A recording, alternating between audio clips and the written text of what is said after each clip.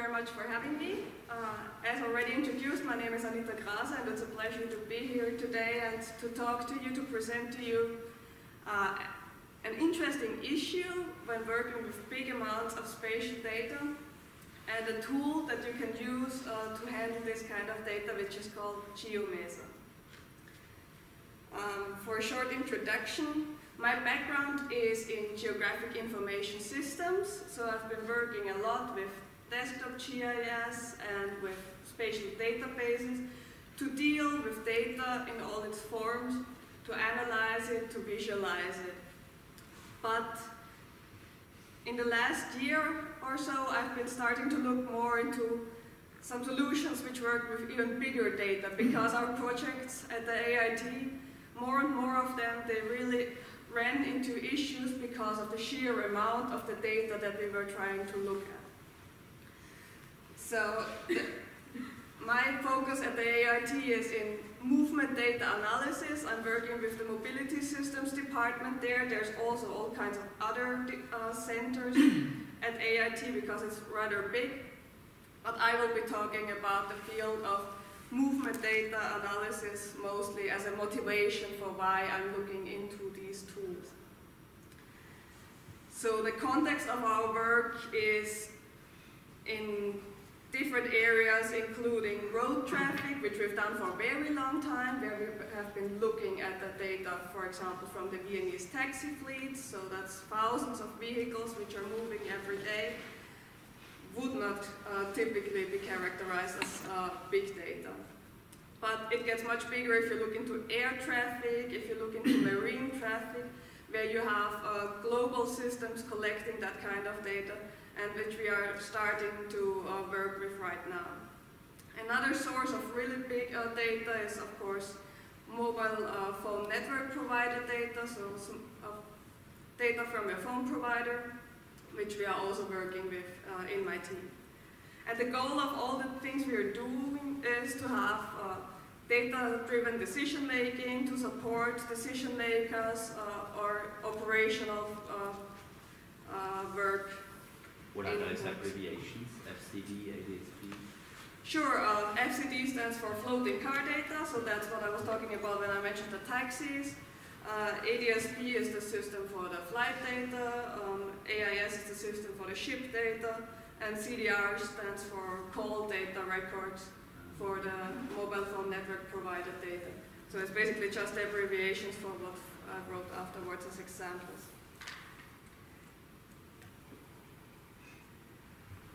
Before we get into all the spatial temporal data, I just wanted to give a quick overview of what kind of data I'm talking about. So basically spatial data and um, it's vector data, so points, lines, polygons. And they can model all kinds of things from locations, which might not have a temporal component, to events, which have a single timestamp or a duration, um, to positions of a vehicle that is moving over time, so it's just one representation of an entity. And the same goes for lines, which can be non-spatial if they are just, for example, representing a road network, or they can be voyages and trips and trajectories of a moving object. And for polygons, you have either static, rather static things like administrative areas, which don't change very often, or other regions, or airspaces that might be much more dynamic and which might have much more temporal aspects to them. So these are the things that we want to store, a lot of those, ideally.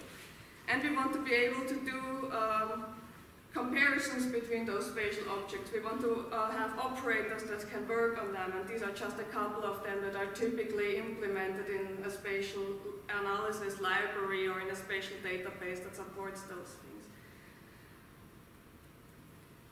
So you can have, think of all kinds of algorithms, including uh, triangulations and simplifications.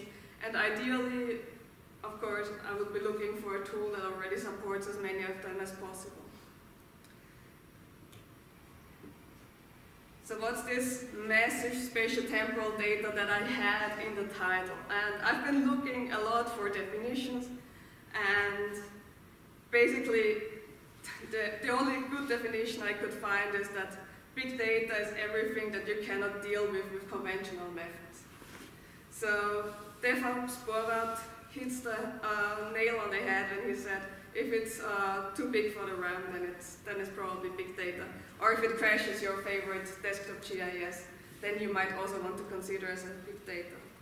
So all these traditional tools that uh, GIS scientists, GIS people work with, from uh, scripting uh, environments, R and Pandas for Python or Tableau, to desktop GIS and servers and databases, PostGIS and Oracle Spatial, they all run in, into issues when the data gets into the terabytes, into lots of features.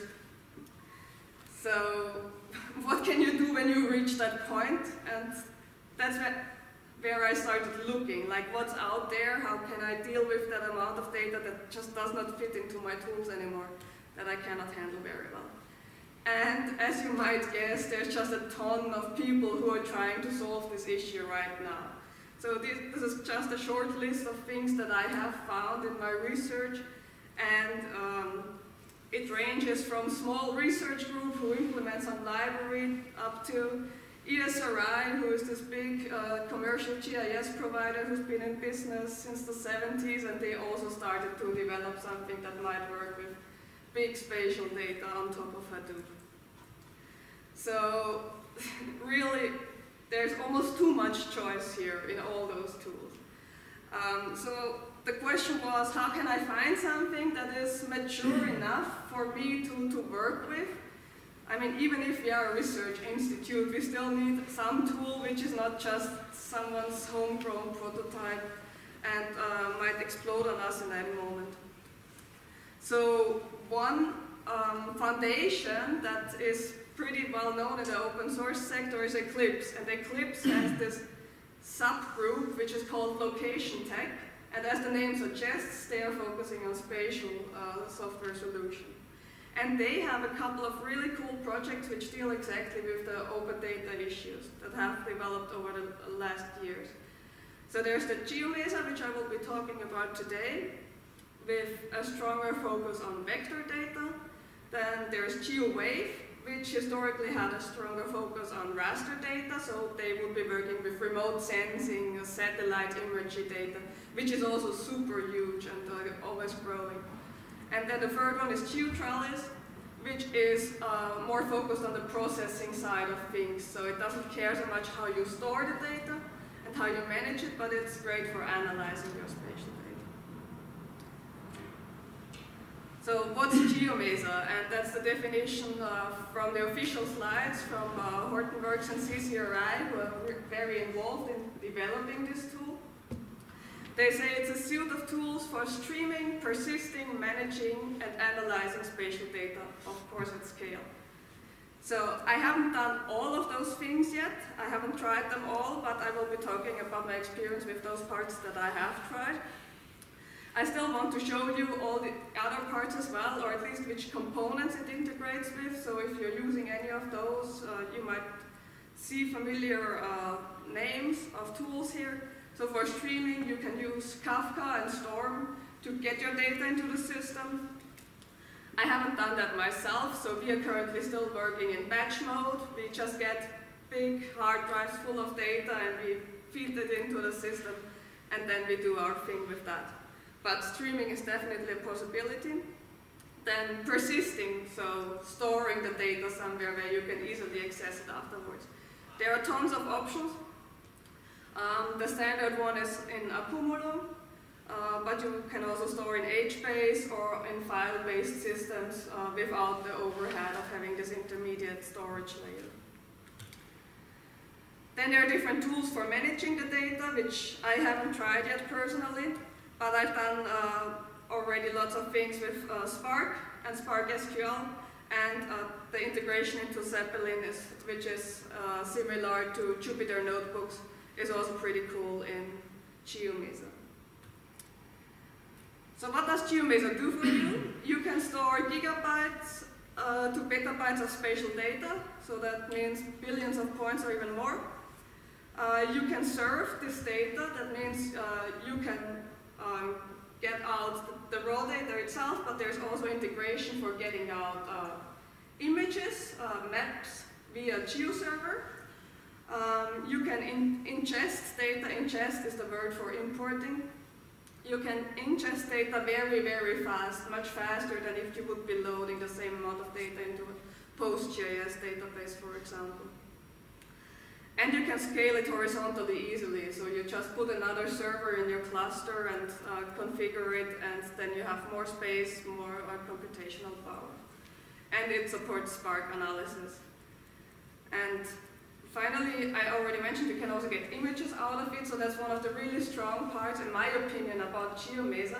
They really looked at the open geospatial standards, at the OGC standards, for accessing data as uh, web services via uh, web uh, WMS, web map services, which renders a map uh, that you can look at, but also web feature services, which gives you the data again in a vector format uh, to work with in any other tools that you might already have. So that's something they really took care of to stay very well in this defined standards and to integrate there as well as they can. Um, if you have ever worked with spatial data and if you know something about how it's indexed usually, you might know that it works a lot with uh, quad trees, R trees, for indexing the spatial data in PostGIS usually. Uh, this is something that they did not follow, neither in uh, GeoMesa nor in the GeoWave implementations of uh, spatial indexes. Instead, uh, they decided to use these space filling curves, and I don't want to bore you very much with the mathematics of the whole thing, uh, but basically they needed to find a solution to make spatial data, which is at least two-dimensional usually, into one-dimensional data which you can sort easily in those big data uh, storage systems, because they can only sort by uh, one dimension. And what you can see here on this slide are a couple of those space filling curves that you could implement.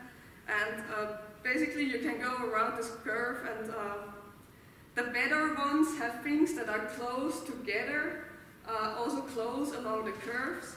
So the, the left one is pretty bad at that because you always jump from one side to the other if you follow the curve. But the ones which are like Z-based, the Z curves, or the H-based one, uh, uh, H-shaped ones, which are Hilbert curves, they are really good at keeping things close together, also along this one-dimensional index. And you can also put that into three dimensions. This is a small uh, visualization that GeoMesa has on their website, how they do their uh, spatial temporal index. So the third dimension here would be the time. And you can see how this Z curve uh, works its way through space and time to make sure that everything is on this one-dimensional index so that you can access it really fast when you need to.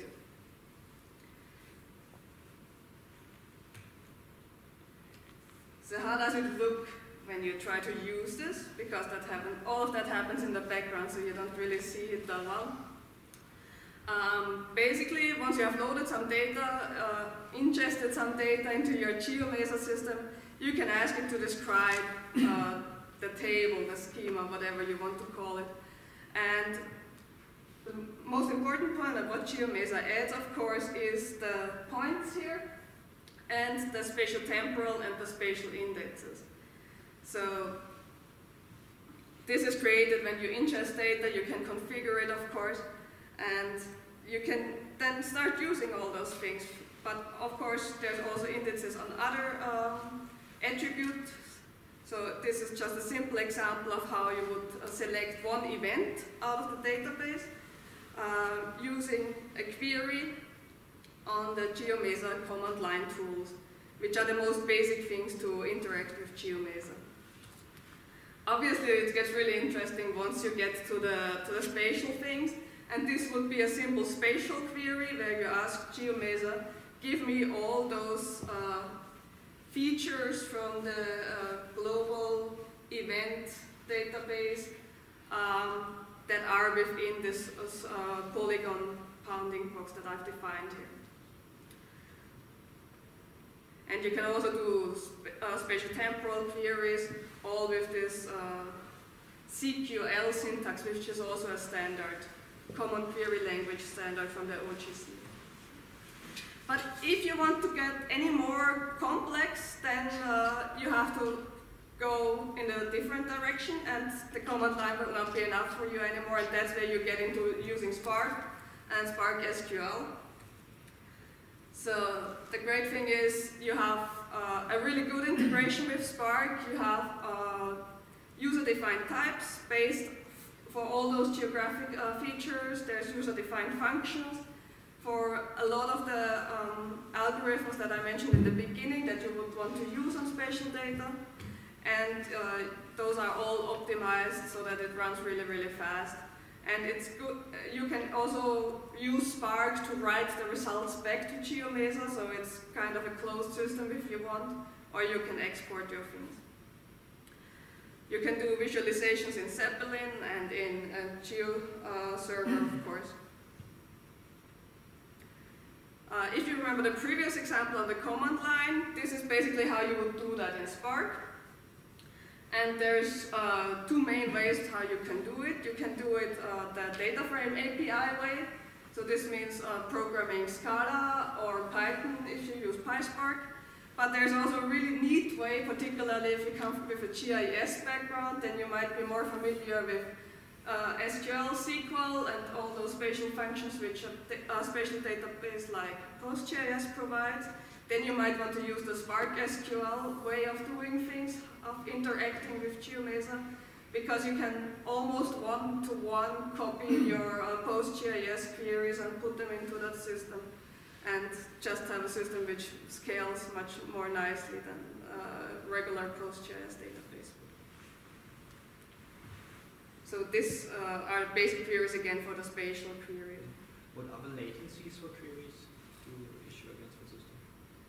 Yeah, so that depends a lot on whether you have. Uh, I, you don't notice it so much. I think if you submit every query individually, then then you don't gain so much. But uh, it's a really good uh, in Zeppelin if you have once established all the connections and cached maybe the one or the other table, then it's really fast. But Maybe if you have some specific uh, sizes that you have in mind, we can talk after the presentation about that.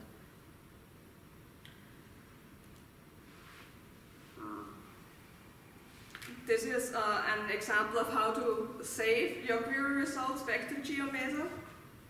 Uh, I find it surprisingly simple, it's really neat. Um, you run your query, that's the first line, so maybe one of the queries that I showed you before. Then you just specify where you want to save it, and then there's a simple uh, write function which, which stores the results into GeoMesa again, and then you can uh, continue working on the whole thing. Now to some more uh, elaborate example, uh, this one shows you how to create a trajectory from individual points. So you have points with some timestamps and you want to create a trajectory out of them. There is uh, usually two things you have to take care of. There is one uh, object identifier, so you have to know which object is an object number one in this case, and which object is object number two. And then you have to take care that all your points, they stay in the correct temporal order. Uh, so basically that's what I'm doing here. This is the example with the dataset API. And this is uh, with uh, group bys and aggregates. And the really interesting thing here is uh, that uh, this window function, which ensures that it's ordered by the time, um, because in the first uh, examples that I did, I just um, tried to order it first, and then I tried to do the aggregate, and then I was surprised that the, the order of points was not always the same in the results. So eventually, this is the way um, that turned out to reliably uh, order the points in the trajectory by the time instead of just throwing them around in some random order. And this is the same thing uh, how you can do it in uh, SQL, uh, which again might be more familiar to the database people here in the room. You again use this window function with over and uh, order by time to create a trajectory out of the point. And with trajectories, you can then do a lot of the analysis things that we do at work, which for points is really inconvenient often. This is just a quick overview if you have some analysis in mind where you wonder, might that be possible to do with GeoMesa? And these are the functions that they have implemented so far, uh, which already cover a wide a variety of uh, use cases, I think. Uh, there's also so-called processes that they have implemented, um, which go beyond this. Um, if you have any specific questions whether something is already uh, implemented, I'd love to talk with you after the presentation about that. Um, the way we've integrated it in our system is uh, shown in this uh, diagram. So you have this, uh, everything that's in blue is your classic open da uh, big data um, architecture things, and everything in green is the more classical GIS things. And it fits together really nicely uh, thanks to the GeoMesa developers and how they thought about doing things. So GeoMesa stores all the data in Accumulo, and GeoMesa has a data provider which integrates with GeoServer, so GeoServer can read from uh, GeoMesa as if it was any other spatial database or file format that we've been using in the GIS world for many, many years. And on top of that, you can do all the GIS things, uh, data analysis things um, um, that you might want to. The integration is super simple, so this is the screenshot from the GeoServer configuration website. It's really nice, it's a graphical user interface, nothing to be afraid of, and basically there's just a couple of fields that need to be filled out, and then you can uh, see the results uh, in the preview and also in QGIS. Um, this is an example where I uh, took the data from the uh, web feature service, so this is not just a picture that I get from the server, it's all the individual spatial features that I can uh, import in QGIS to display it, to analyze them, to, to change them if I want to. So what are some of the use cases that I have been trying to solve with this architecture now? One of the examples is I mentioned previously that we have uh, taxi data, we have many years of taxi data. So far I've Im imported three years uh, into the system, which comes down to around uh, 1 billion points. With timestamps, with status, with uh, vehicle, uh, with trip ID. And uh, in this example you can see counts which I've made based on simple bounding boxes, so pairs of coordinates which define a rectangle, and then I count how many taxis went from point A to point B uh, over time. So here you have the numbers per month, and I'm comparing the situation uh, on Hauptbahnhof to the situation in Bahnhof Meidling. As you might know, the, the Hauptbahnhof was went fully operational somewhere in the end of 2013. So it's quite nice that you can see this increase in traffic to the Hauptbahnhof versus on the other side in Meidling. Um, there's certainly no increase, there might even be a slight decrease in the traffic of taxis going to that place. So that was a really nice confirmation of what we were hoping to see anyway. And it's cool because uh, these kind of queries on 1 billion data points run in way under a minute. So there is no need to wait for anything, you just put in your region A and your region B, press enter and you know immediately over many years uh, how On many trips there have been. Excuse me? On which infrastructure? Oh yeah, that's a good point of course. We are currently running on our local cluster which has six nodes. Uh, I don't know all the specifics of RAM and uh, uh, uh, the processors uh, by heart, but it's just a rather small cluster with six nodes. How does it feel for the end user when we have like a million of points in QGIS? Does it still feel smooth? Um, millions of points is usually not a problem for QGIS. Um, the problem might be the WFS service, which translates everything by default to GML, which is an XML format with a lot of bloat. Mhm. Um, so you might not want to have really millions of features uh, transferred via WFS and uh, GML. But you could change the encoding to um, GeoJSON or something that is more lean than uh, GML. And I haven't benchmarked how many features would be the limit to having it really nicely interactive. Um, but if you want to uh, um, transmit a lot of features and still get an overview of what information there is in them, uh, the GeoMesa people have implemented a quite nice uh, heat map renderer because if you have millions of points, you basically cannot do anything with the individual feature anyway. Um, but if you want to aggregate them and just get a situational picture of the distribution of the points, this heat map renders super fast no matter how many million points they are because it uses some pre-computed data there.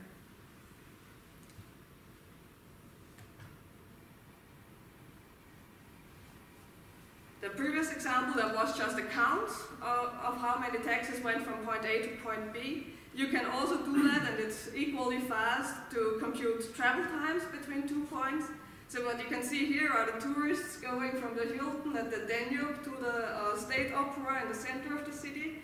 And you can see for the three years that I have ingested the distribution of the travel times, and that they are basically the same. So traffic hasn't gotten any better or any worse over these three years for this location. And again, uh, you can calculate that in a couple of seconds, which is really cool. Something I'm currently working on is using the whole thing for prediction.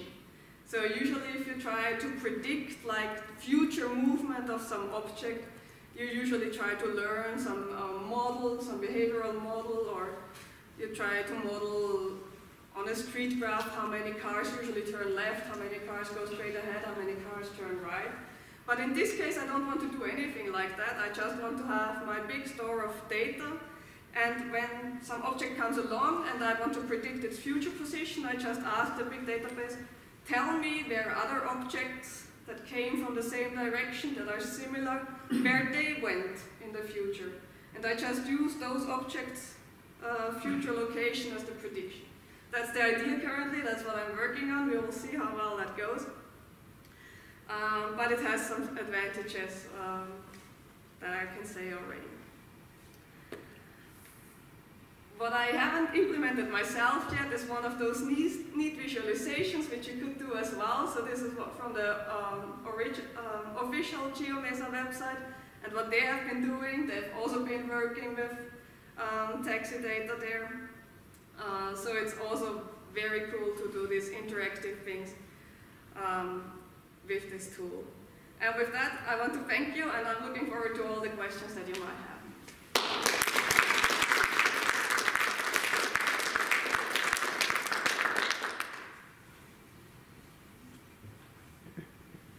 Sorry, um, how do you find out if two uh, trajectories are actually similar in order to predict where the Yes. object is going?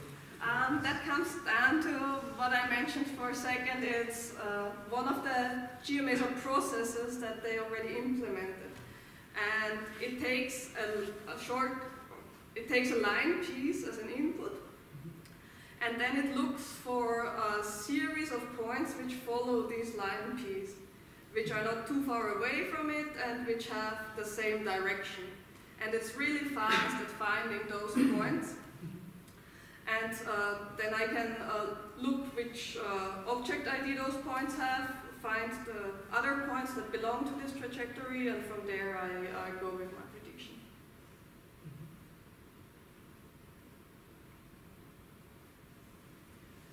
Do you know more about how they index with space filling curves? I mean, one question with space filling curves is that space filling curves and quadtrees can only store points and not regions. So Mhm. you have to use some tricks to get to get uh, to get uh, regions and this. And the second question is if the results are approximately or correct. I assume they deliver correct results, but then with space filling curves you have to do some tricks uh, get around these border issues because space filling curves has this region, this. Yeah. There is always a point that is not not in the single. So you know? you cannot just uh, get one range from the from the space Yeah. filling curve. You might have to access multiple ranges of the of the space Mhm. filling curve to, to get, for example, the area that is covered by a Mm-hmm. polygon. I haven't included the, the pictures that they have in the documentation for how they, they handle Ah, this, Okay. uh, but they do. Um, so basically, you can imagine Um, they, they figure out which um, of those cells, let's Mhm. call it, are completely within the Mhm. polygon and then they don't need to drill down there any further and those which contain the border of the polygon there they drill further and further and further Mhm. until they are at a level where they can uh, return you the data. Interesting, yeah, I will take a look into Mhm. the documentation. Sure. From your experience, where's the break-even point where you say, would say, I just can't use a PostGIS anymore and I have to use GeoMesa instead of, is it? Well, there is no clear-cut point, of course. So we obviously could have gone and tried to set up a distributed Postgres uh, database.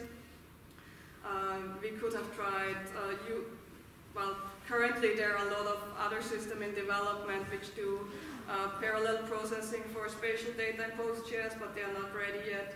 Also for GPU processing in PostGIS, which are around the corner but not ready yet. Um, so all those things will move the targets for sure. Um, but I had the feeling that it made more sense to, to move now when you cannot do it with one big uh, database uh, machine anymore. To make the step to the whole big data architecture where you have redundancy and if one of the nodes uh, dies on you, you're not completely screwed because n- nobody really had experience in how to do it with a distributed database, which is much more uh, problematic as far as I know if one of the uh, machines dies on you. Another question, there is a project at your institute where you predict uh, tourists where they are in Vienna or so. Is this, are you involved with that? or not? Tourists? I read about No, this. that must be a different group. Okay. I'm not aware of such research. But it's, it's large, uh, it's 1,300 people, so no chance to know all the research that is going on, unfortunately.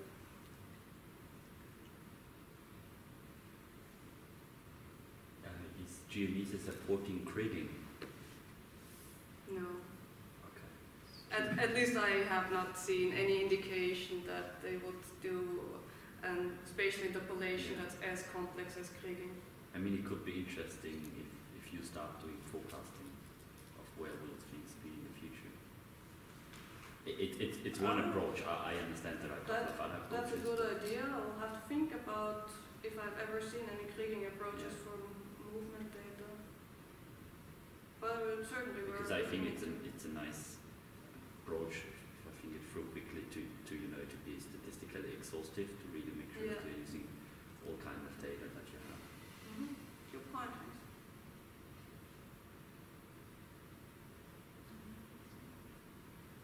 Any interesting projects that you implemented in, um, How many projects? any interesting ones? So as I mentioned, uh, we, I started looking into this whole topic a year ago. And the ones that I really want to target is uh, having a data store where you can access all the floating car data from the taxis in a convenient way rather than having files all over the place. Um, the ships that I showed to you in those small examples, the overarching project is um, an a project that we have with an industry partner who's developing um, um, control center solutions for ports, for um, maritime ports.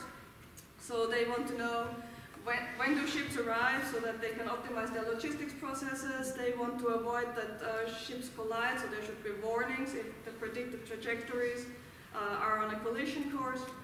Um, and they want to know um, basically if there's anything weird going on, if any, if there's any suspicious vessel movement. Um, so that's one of the things we're trying to do with exactly this setup. We have some other big data projects where we are working with Spark, but currently not with GeoMesa yet, uh, which cover the topic, uh, which use the uh, mobile phone network provider data for all kinds of things. Uh, usually you're trying to count, uh, you're trying to derive um, information about traffic flows, maybe even with the information about how people were traveling, if they were coming by car, if they were uh, coming uh, by bike, if they were walking. Really interesting project we are starting right now is uh, where we want to derive uh, land use information from mobile phone data. So, because you can observe that people usually arrive at a certain area at a certain time during the day, and they leave at another time of the day.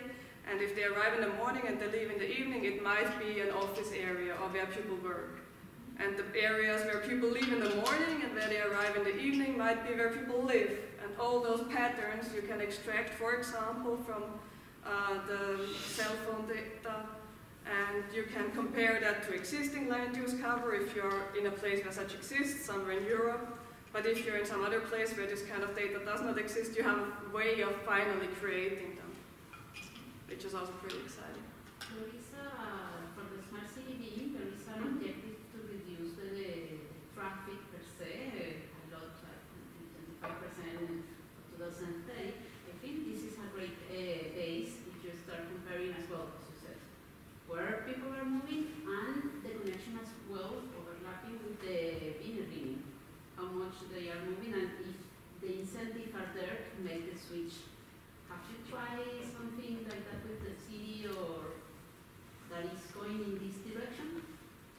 Um, we have a couple of projects with ÖBB. Okay. Yeah, we also have uh, uh, projects with Wiener Linien, but they have currently a different focus. We're always trying to bring them the other ideas as well. Um, but so far they haven't really bitten.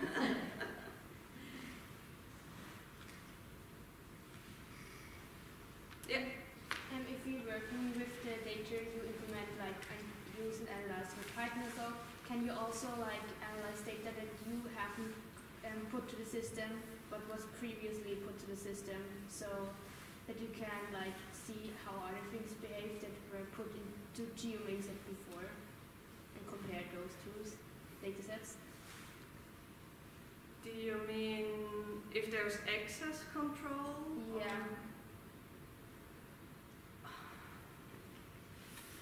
I know that there is access control if you have GeoMesa on top of Accumulo, because that was a real big focus, this whole protecting one's data again, uh, compared uh, from access from everyone who has access to the whole system. Uh, so it depends on the on the underlying storage layer, as far as I know, if that implements uh, access restrictions or not. It's not handled by GeoMesa itself. But another question that stems from this is kind of how how much caching activity does GeoMesa have? So is it caching any in, like results? I'm not sure. I have to say. Yeah. I don't think it is. So you're kind of always experiencing the same uh, response times, and not if you make the same query twice or thrice that you see it's faster.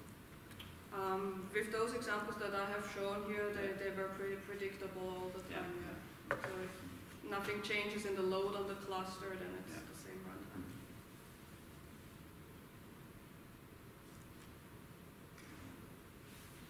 Do you know?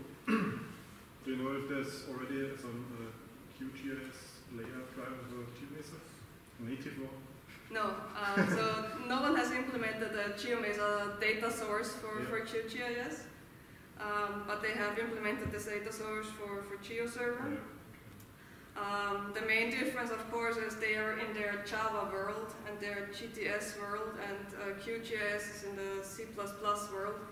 Um, so we'll have to see if it's possible to bridge that gap in one way or another. Um, they're still trying to grow the community. Uh, neither GeoMesa nor GeoWave have a really huge following yet. Um, but I think, uh, given that they are in the LocationTech group, um, chances are good that they will grow and integrate further with all the other open source tools that there are. You have a question? Uh, do the space filling curves uh, also work with noisy data? Because I can imagine that the curve will split um, if, if, you don't have an accurate position, but uh, a lot of points in a circle, and you want just the center point, but you cannot, you don't know where it is, and when you make this curve, and it will split the data even more. So the form of the curve is not dependent on the underlying data, on the data distribution. Um, the curve just fills the whole uh, space in a, in a regular uh, kind of way. Um, but depending on which curve you use, and well, GeoMesa always implements this Z curve, you might sometimes have to jump from one segment of the curve to another to get all the points that belong to your, your distribution. Does that answer the question? So, so the curve is not influenced by the by the distribution of the points. You will always have the same curve. Yeah, the same curve. Yeah. Um, but uh, uh, can you use it uh, still? Uh, is it uh, reasonable, reasonable to use it? Uh,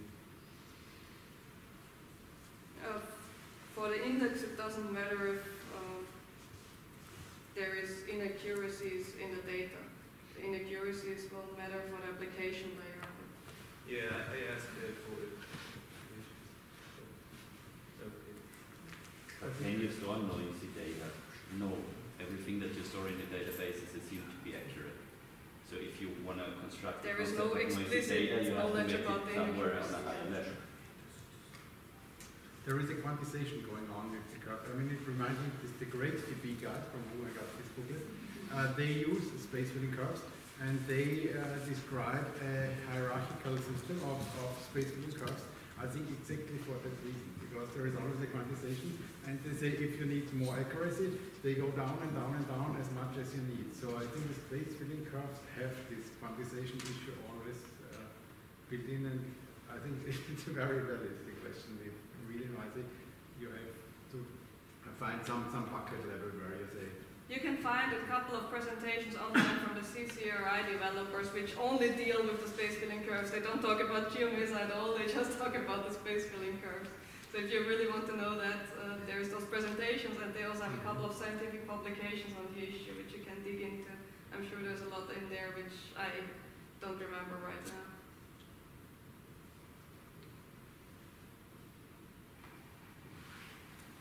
Maybe one more technical question. If you go back in the slides where you build the trajectories, Yeah. for slip which you showed, you were using this collect list function. Yeah. In general, this collect list function is bad because it collects all the data to the driver node Mm-hmm. of this program. Do you ever experience out of memory issues, or is there a better way to prevent using that function? So I'm grouping here by the ID on the last line, which is the, the trip ID. So the number of points I'm collecting is not that huge there. That's why I'm not running into out of area issues, even though I'm collecting this list. Um, also, I'm not aware of any alternative uh, to doing the collect list at this point because I need the list to, to create the line uh, afterwards. So even if I had memory issues, um, currently I wouldn't know uh, an alternative way except for maybe splitting it temporarily into, into smaller chunks um, if I would encounter that issue.